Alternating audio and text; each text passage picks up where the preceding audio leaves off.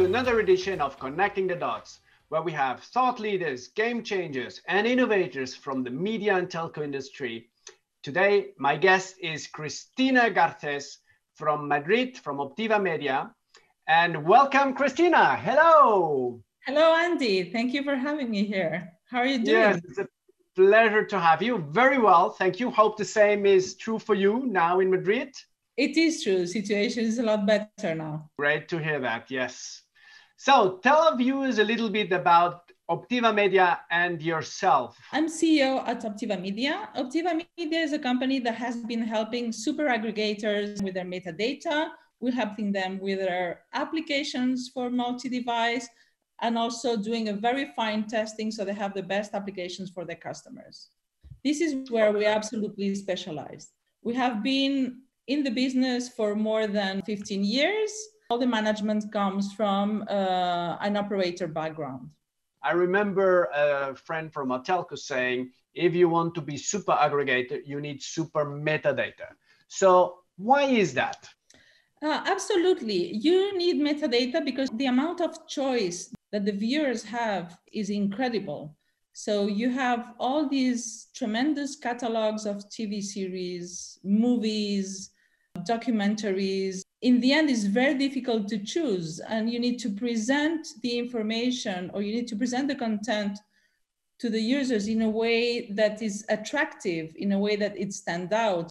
And it goes to good recommendation engines, it goes to good search engines. All these need to be fed with real good metadata Okay, so you have uh, quite some experience in that. You're live since I think two years with Orange Spain and Vodafone Spain. What are the key takeaways that you would recommend somebody who wants to be a super aggregator? What's the difficult things that people need to take care of? Handling metadata is always very underestimated. Companies have come to realize that they really need to take care and that they really need to have a sensible operation to be able to present that data. And, and there are different factors. First, you need to automatize. We are handling in one of our operations uh, 100,000 contents daily. You need yeah. to have your VOD, your catalogs, your EPG, your catch up organized, everything with a unique ID. So you need to make sure that you have this unique ID that allows the user to find the content and then in a second step, see where this content is available. You need to mm-hmm. have sleek images, very good quality, good titles. You mm-hmm. really need to make sure that you have all that present. You need also uh, to present the characters, the crew in a very good quality. We are talking about video, we're talking about experience, we're talking about 4K. So you really need to have very good quality in all your video management. Then you need to export metadata to the different devices with different images sizing, different, different images quality, the same as you have different video quality. You have posters, you have backgrounds, you have covers, uh, you name it. Okay. So one of the big topics I heard a few times is metadata enrichment. What is that? And which role does AI or machine learning play for that? So metadata enrichment is all the additional information that you can gather around that content. Is not only uh, the synopsis or the cast and crew or the uh, director or the images. It's also uh, ratings, recommendation, uh, gossip, uh, Twitter feeds. It's uh, all the information that you can find on social media is um, all what surrounds uh, a content. Is also tagging. Tagging can be based on not only genres as we have seen today but also uh, moods uh, how do i feel today? And the evolution for this goes uh, with machine learning because it is not possible to extract all the information manually. And we are working in ways of have doing that automatically with all the metadata that we have but mm-hmm. also are advancing in being able to extract the information from the video itself. And that's the real challenge. Process the video in a timely manner and be able to extract all the information that you need from the video itself. Okay. So when all that happened does it mean the EPG is dead? It's not needed anymore? Um, or will it be just a different way of EPG?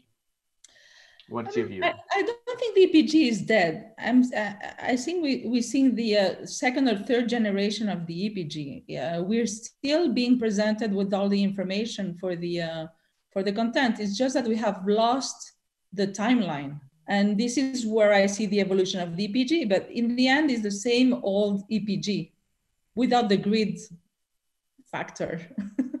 yeah. Okay. So one of the things you mentioned as well, you're doing apps, right? Um, so metadata is one, apps, and also integration. Um, or what differentiates you, or what's your approach to developing apps? You need to have a very nice UX. You need to have an application that adapts itself to the different uh, devices. But the angle that we are working on is more having a connection to our metadata and tagging tool that allows you to build collections and build different rails that you can base either on preference or on tagging or whatever editorial um, content you're interested in pushing into the uh, into the customer. So it's more the link between the application and the metadata angle that we're working on. Of okay. course, we do have a very nice and sleek application suites that works, you know, multi-screen devices. We've been working in this industry long enough to understand uh, what can be done and cannot be done. Uh, we come from the set-top box background, which is the hardest to come from. So the rest is easier. Peanuts, almost. Almost. So still you say you need to test a lot and you are testing a lot for some of your customers. We have uh, a practice that is called Qualtiva that covers our, our uh, testing services, quality assurance services. Uh, it, it's completely multi-device. And we have been testing set-top boxes since the very beginnings to the uh, new devices now. We have now a um, television lab in the uh, south of Spain with 200 TVs, 200 smart TVs, where we can test several models. And we also, of course, working on the automation angle. The latest automation that we have included is voice automation, where we are mm-hmm. able to transform voice commands to text command to set-top box or device commands, and then make sure that what comes back, the result is in line with what the uh, customer requested. Okay. And you see there's a trend towards UIs using more and more voice? Absolutely. I, yeah. Absolutely. I'm always surprised when people underestimate the impact that voice is going to have at home, uh, and not only at home, but in our lives. So I think mm-hmm. more and more we're going to see a voice integrated in our surroundings uh, because it's very natural. And so that means the UI and the interaction paradigms will have to change in the future. Absolutely, absolutely. Integrating natural language, which is a real challenge. Okay, um, so that brings us to the, the crystal ball question. So if I give you $100 million, how would you invest that? I mean, definitely in machine learning. I think that all uh, what I was mentioning before being able to treat video and extract as much information from the video as possible to have like an auto catalogation of movies depending on your recommendations or your your what you like i think that would be very powerful today editorialization is still and curation is still very manual. So we're to see Optiva become an AI and machine learning company soon that still continues to help super aggregators to get off the ground and become big with a fantastic UI. It was a pleasure having you here. Thank you very much. And uh, we speak soon. Thank you, Cristina. Thanks to Thanks. you, Andy. Bye. Bye bye.